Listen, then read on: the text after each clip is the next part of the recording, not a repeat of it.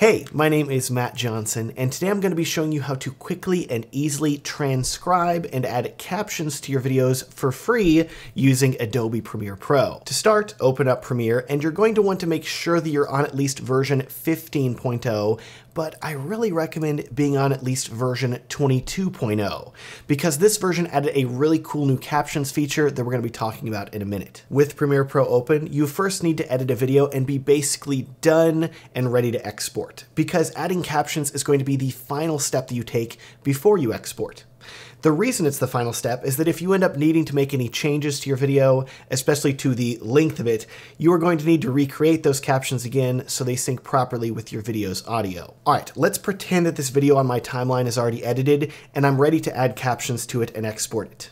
In your workspaces at the top, you're going to notice a new workspace option called Captions. Click that, and then you'll see that you have two new panels, a transcript panel and a captions panel.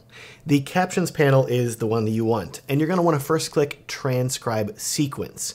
You're probably thinking now, Matt, the second option here says create new caption track. I want to create captions. Why shouldn't I click on that? The reason you want to click transcribe sequence first is that you need to do things in order. If you create a captions track without transcribing your audio, the captions are going to be blank unless you want to type them in manually. And I said this tutorial is how to quickly and easily create captions, and typing them in manually is definitely not easy. So click transcribe sequence, and then under transcription settings for audio analysis, you're going to want to select audio on track, and then you're going to want to select the track that your spoken dialogue is on that you want to create captions for.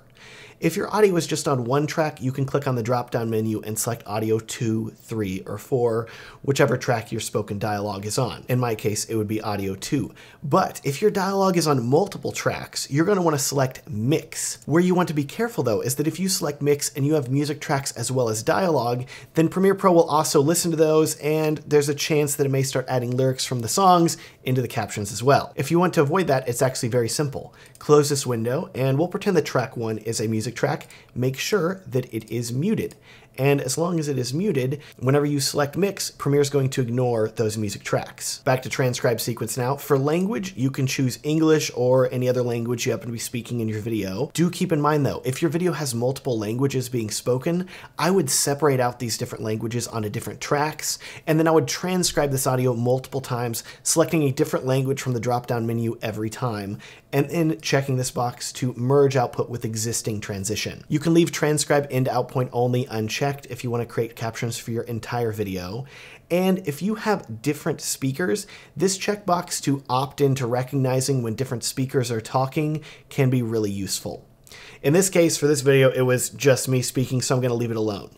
And lastly, all you need to do is press transcribe. Premiere will then immediately begin transcribing the sequence by rendering out the audio, then uploading it to Adobe's servers where they have some very powerful speech analysis tools that will create text from the speech in your video. You'll then get a timer for how long this is estimated to take. In my case, this is about a 12 minute long video and Adobe says it's gonna take four minutes. Once that is done, you'll notice that the transcript panel is now open and look at that. Premiere has now automatically transcribed all of the audio in your video into text and organized it into captions with timing. This is where things get really cool because you can click on any of this text and notice that Premiere will automatically scrub to that part of the timeline. You can then hit play and Premiere will highlight each word of the text as it's spoken. This is the point where I recommend either watching through your video completely or at least reading the transcript because while I would say the Premiere Pro's captions are around 90% accurate, Every once in a while, a word will throw out a curveball and it'll get confused, or it'll format a word incorrectly. Thankfully, if you want to change any of the text in your captions, in this case, it should be are instead of were, you can simply select the word, then double click on it, and start typing are. There we go. Click away to save that. Now, with your transcription proofread, it's time to turn this transcription into captions. To do that, you're gonna wanna click this big Create Captions button at the top, and then you're gonna wanna make sure that Create from Sequence Transcript is selected, otherwise your captions will be blank.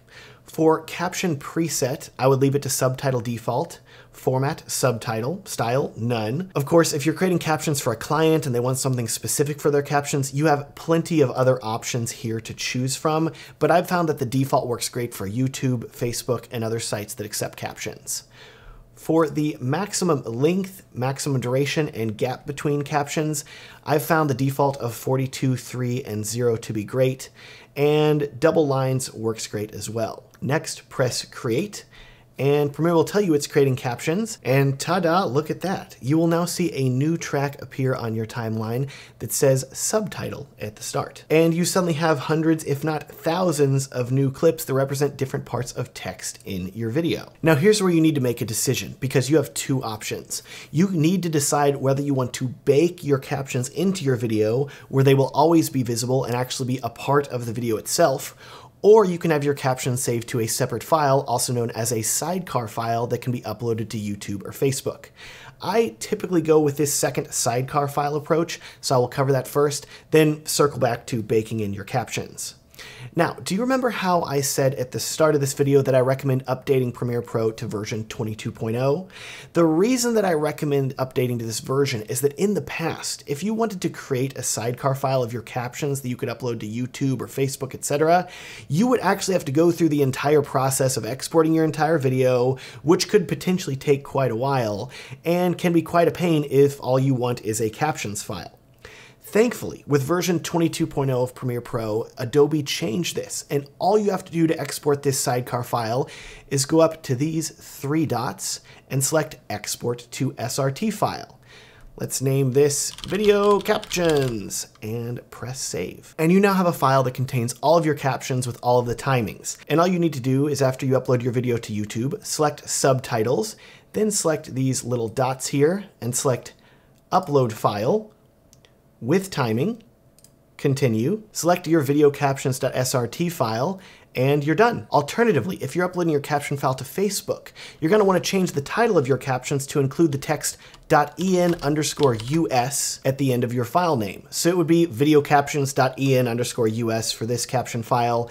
This tells Facebook that these are English captions. If you try to upload your captions file without doing this, Facebook will give you an error. All you have to do then is upload your video to Facebook, go to the captions tab for your video, and select upload to upload your captions file. Now, if you are using a previous version of Premiere Pro, such as version 15.0, and you don't want to update to a later version due to stability, for example, then to export your captions, it's just gonna take one extra step. Go to export your video like you normally would by opening up the export media dialog box in Premiere by pressing Control M on PC or Command M on Mac. Select all of your export settings, and then go over here to the captions tab. And under caption options, you're gonna wanna make sure that you select create sidecar file. Then export your video as you normally would, and next to your video file, you're gonna notice there's a sidecar.srt file that you can then upload to YouTube, Facebook, etc. All right, we've covered how to create a separate file that includes your captions. Let's now tackle how to burn captions into your video so they will always be visible.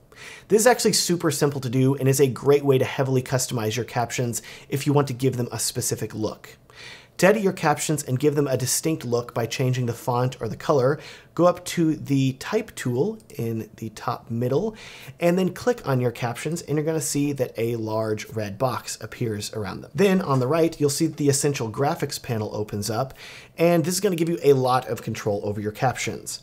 For example, you can select all of this text and then change your font to Arial for example. And let's also change the fill to yellow. With this change, you're gonna notice that you've unfortunately only changed this specific caption. All of the other captions are still white with the old font. How do we fix this? Do not worry, you do not need to change all of your captions by hand. That would be a huge pain. Instead, just make changes to one of your captions text boxes and then to make all of your other captions look like these captions, go up here to track style and click this up arrow. And it's gonna say push style attributes. Make sure that all captions on track are selected. Press OK, and voila, all of the captions have been updated to this font and style very easily and quickly. Now, let's export these baked in captions.